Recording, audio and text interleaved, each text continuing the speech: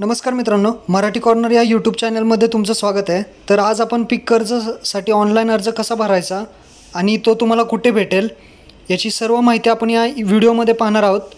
आणि या लॉकडाऊनच्या काळामध्ये तुम्ही लोन घेऊ शकता कारण की सरकारने तशी मान्यता दिलेली आहे. तुम्ही लोनसाठी पात्रता आहात जरी तुमचे कर्ज असेल अगोदर तरीसुद्धा तुम्ही लोन मिळवू शकता. तर त्यासाठी अर्ज कसा करायचा आहे आणि तुम्हाला तुमच्या जिल्ह्याच्या सर्व ज्या फॉर्म आहेत आणि त्या ज्या ऑनलाईन लिंक आहेत भरायच्या त्या कशा भेटतील?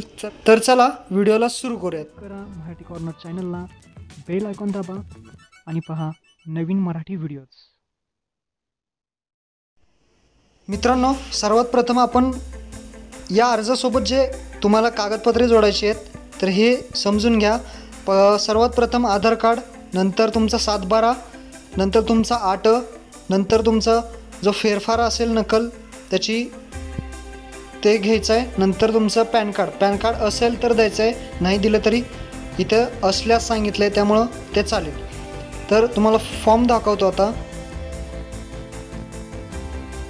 मित्रांनो हा जो अर्ज आहे तो तुम्ही भरून तुमच्या जिल्ह्यामध्ये तुम्ही देऊ शकता. पण काही जिल्ह्यामध्ये हा अर्ज चालेल. जसे हा अर्ज और परभणीच्या वेबसाईटवर परभणी जिल्ह्याच्या वेबसाईटवरती हा अर्ज होता. तर अशा प्रकारचा अर्ज प्रत्येक जिल्ह्यामध्ये येईल. तो अर्ज तुम्हाला घेऊन तो पूर्ण भरायचा आहे. आणि जर तुमच्या प्रत्येक जिल्ह्यामध्ये ज्या लिंक्स आहेत त्या मी डिस्क्रिप्शन बॉक्समध्ये प्रत्येक जिल्ह्याच्या लिंक तुम्हाला दिलेल्या आहेत. त्या लिंकवरती जाऊन तिथे तुम्ही ऑनलाईन अर्ज भरायचा आहे.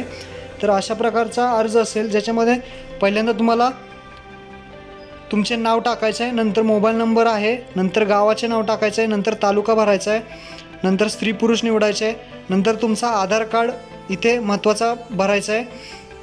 जर तुम्हाला बँकेची कर्जाची माहिती असेल तर इथे भरा नाहीतर हे तुम्ही सोडून द्या. जर माहिती असेल बँकेच्या खात्याची कर्जाचा खाते क्रमांक किंवा कर्जाचा प्रकार हे माहीत असेल तर हे भरा नाहीतर सोडून द्या. खाली आल्यानंतर बँकेचा जो बचत खाते आहे तुमचं जे कार्ड आहे किंवा ते पुस्तक आहे त्याचा खाते क्रमांक इथे लिहून द्यावा. नंतर तुमचं जे बँकेचं नाव आहे खाली कोणत्या बँकेतून तुम्हाला कर्ज भेटत होतं जे आता ते त्याच्यात तिथे बँकेचं नाव लिहा. शाखा कोणती आहे त्या गावाचं नाव लिहा तिथे. नंतर तुमच्या स जमिनीचा सर्वे क्रमांक तिथे लिहून घ्या. नंतर क्षेत्र किती आहे ते तिथे लिहा. नंतर तुमच्या ज्या लागवड करण्याच्या पिकांची माहिती इथं लिहा. तुम्ही काय काय लागवड करतायत शे आणि त्या लागवडीमध्ये किती क्षेत्र आहे ते पण तिथे लिहायचं आहे. नंतर सोबत जोडवायची कागदपत्रे. तर सोबत तुम्ही याच्यासोबत आधार कार्ड सातबारा आट फेरफार नक्कल फेरफार नक्कल आणि पॅन कार्ड. पॅन कार्ड असेल तर हा होईल आणि खाली सु इथे उजव्या साईडला पासपोर्ट आकाराचा फोटो इथं जोडायचा आहे. इथं फोटो जोडल्यानंतर खालची सूचना बघा हा अर्ज फक्त घेण्यास कर्ज घेण्यास इच्छुक शेतकऱ्यांची माहिती संकलित करणे व त्यासाठी बँकेत होणारी गर्दी टाळण्यासाठी आहे. अंतिम कर्ज मंजुरी ही नामंजुरी बँकेच्या नियमाप्रमाणे होईल. म्हणजे हा फॉर्म तुम्ही भरून बँकेमध्ये जायचं आहे बँकेमध्ये गेल्यानंतर ते बँक तुमचा फॉर्म चेक करेल.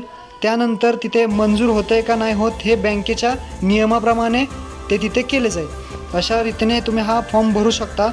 आणि हा फॉर्म डिस्क्रिप्शन बॉक्समध्ये प्रत्येक जिल्ह्याचा लिंक दिलेला आहे. तिथे जाऊन तो फॉर्म तुम्हाला भरायचा आहे. डिस्क्रिप्शन बॉक्समध्ये तो जाऊन तुम्ही बघू शकता. आणि हा जर व्हिडिओ तुम्हाला आवडला असेल तर चॅनेलला सबस्क्राईब करायला विसरू नका.